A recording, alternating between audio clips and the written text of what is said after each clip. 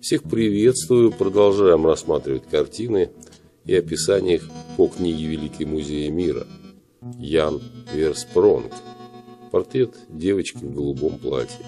1641 год, холст масла 82 на 66. Представитель Харлемской портретной школы Ян Верспронг запечатлел на данной картине девочку из богатой семьи, о чем свидетельствует ее платье из дорогой материи, отделанное кружевами из золотых нитей, жемчужные украшения, веер из птичьих перьев, взрослая прическа.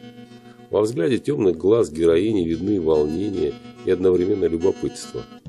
Выражение лица выдает желание послушного ребенка побороть страх перед неведомым миром взрослых, где существуют парадные портреты и художники, их пишущие.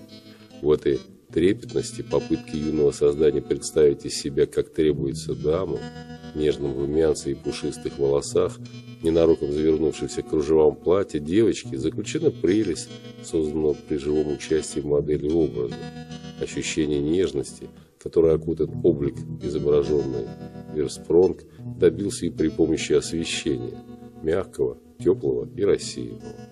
Дети на картинах голландских мастеров – это особый мир – не менее глубокий, чем мир взрослых, в стране, поставившей во главу угла уважение к человеку, как всем испытывали неподдельный интерес. Ну, такое описание к работе «Портрет девочки в голубом платье» Ян Верспронг, 1641 год, описание по книге «Великий музей мира». До свидания.